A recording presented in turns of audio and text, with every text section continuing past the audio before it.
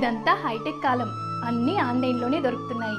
మరి మన ఇంట్లో జరిగే శుభకార్యానికి కావలసిన పూజా సామాగ్రి కోసం మీరింకా మార్కెట్కే వెళ్తున్నారా? అయితే డబ్ల్యూడబ్ల్యూడబ్ల్యూ dot e Pooja store dot కామ్లో order చేయండి. మరిన్ని వివరాలకి సంప్రదించండి. Eight zero nine six eight three eight three eight three. మిథున రాశి వారికి ఈ వారం చాలా అనుకూలంగా ఉంది. ఆర్థికంగా చాలా బాగుంది. ప్రజాకర్షణ ఏర్పడుతుంది.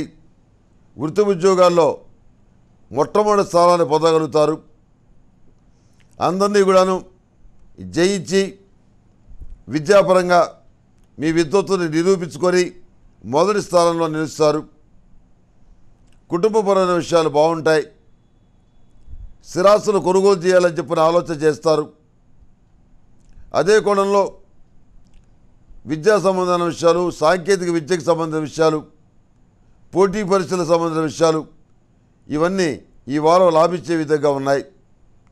గ్రీన్ కార్డు కోసం ప్రయత్నాలు చేసేవారికి గ్రీన్ కార్డు లభించే అవకాశం నూటికి తొంభై తొమ్మిది శాతం కనపడుతుంది. అదేవిధంగా మీరు కోరుకున్నటువంటి విద్యను మీరు నేర్చుకోగలుగుతారు. సెల్ఫ్ డ్రైవింగ్ విషయంలో జాగ్రత్త చాలా అవసరం.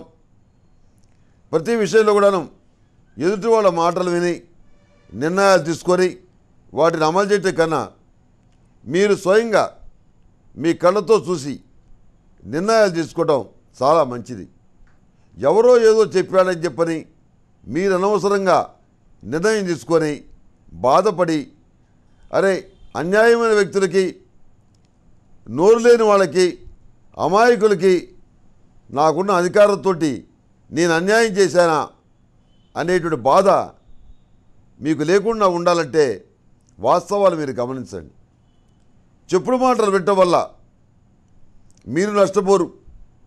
పక్కవాళ్ళు నష్టపోరు. అమాయకులైన వాళ్ళు నష్టపోతారు. మీ మీద ఎంతో బాధ్యత ఉంది.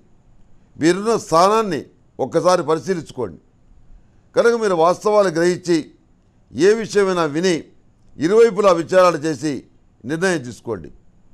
వివాహాది శుభకార్యాల విషయంలో మీ యొక్క అంచనాలు సానుకూలపడతాయి.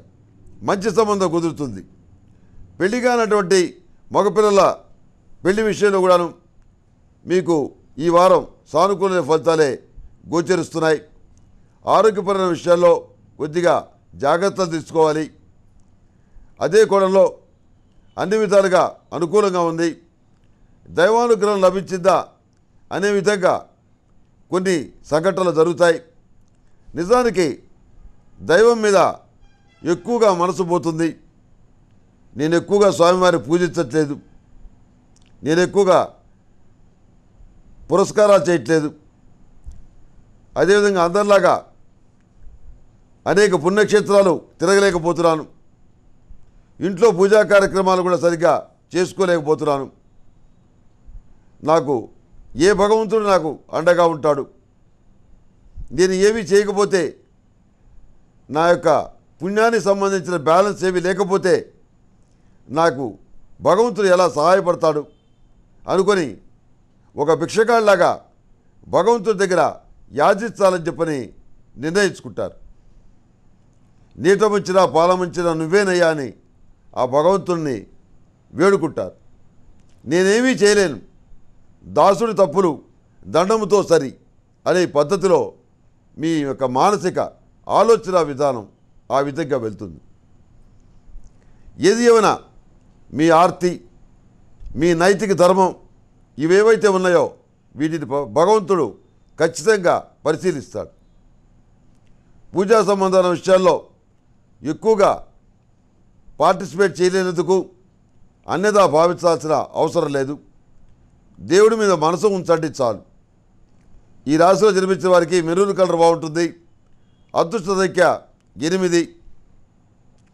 ఏదైనా పని మీద బయటికి వెళ్ళేటప్పుడు ఓం మహాలక్ష్మి నమ అనేటువంటి మంత్రాన్ని పదకొండు సార్లు జపించి బయటికి వెళ్ళటం వల్ల మంచి ఫలితాలు సంప్రాప్తిస్తాయి.